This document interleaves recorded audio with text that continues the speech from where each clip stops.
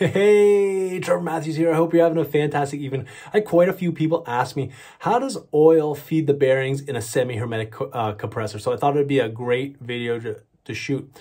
So here is a crankshaft out of a Copeland 6D compressor. So on this end would be the oil pump. There are positive displacement oil pumps. So it actually forces oil through the crankshaft to feed the connecting rods. The connecting rods would go here and the connecting rods would connect to the pistons that pump uh, the refrigerant. And then back here are your main bearings. And then you have a stator. And then you have your rotor that's connected to the crankshaft right here. Okay, so when the compressor starts up, it doesn't matter what direction, it starts to force oil into this little groove right here. And then in the groove, there is a hole right there. So it's drilled into there. So it's forcing oil into this point. You'll see up here, there's a little plug. This plug is drilled all the way through the crankshaft.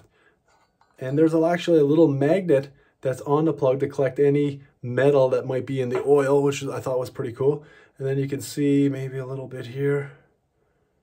So you can see that it's drilled all the way through that crankshaft. And then it feeds these journals. So this is where the connecting rods would be that go to your pistons. There's three there. There's three more there and then it gets to your back bearings. There's actually, if you can see there, a little copper plating on this one. And so as that compressor runs and it pumps oil through there to feed those journals, those bearings, to keep them lubricated, keep them moving.